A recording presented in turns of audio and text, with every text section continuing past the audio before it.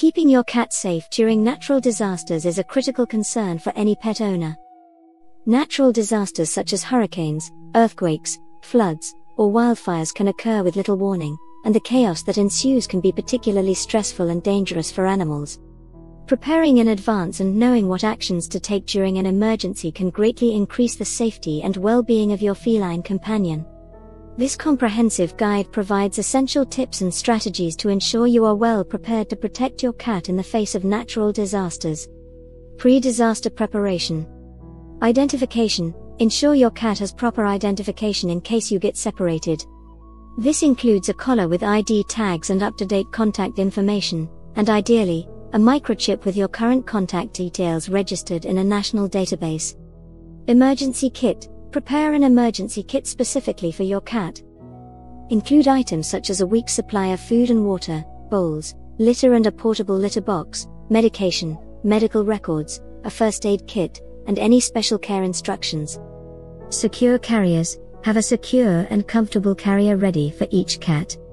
Familiarize your cat with the carrier well before any emergency to reduce stress when you need to use it urgently. Safe spaces create safe spaces in your home where your cat can hide or be secured if a quick evacuation is not needed. These spaces should be away from windows and potential flying debris. Evacuation plan Develop an evacuation plan that includes your pets.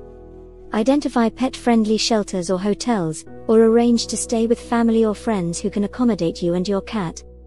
Ensure you know multiple exit routes from your area in case some are blocked during a disaster.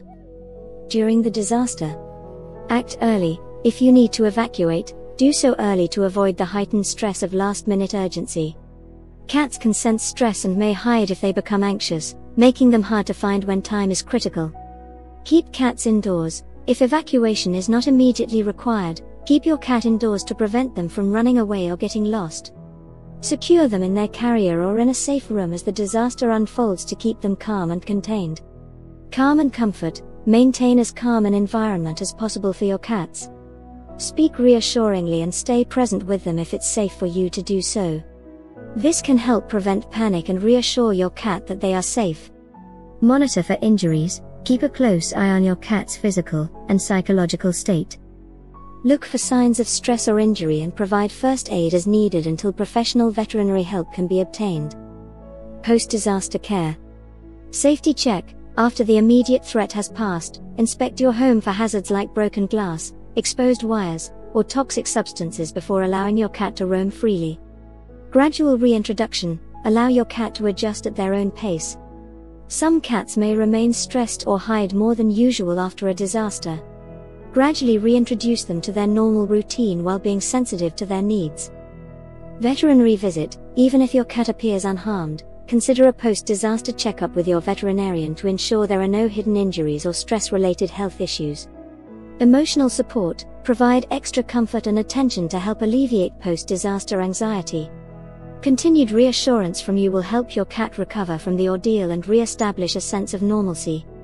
Review and adjust plans. After experiencing a disaster, review and adjust your preparedness plans based on what worked well and what could be improved.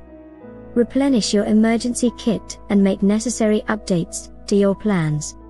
Conclusion Preparing for natural disasters as a cat owner involves thoughtful preparation and quick action. By taking proactive steps to ensure your cat's safety, you can mitigate the risks posed by such unpredictable events.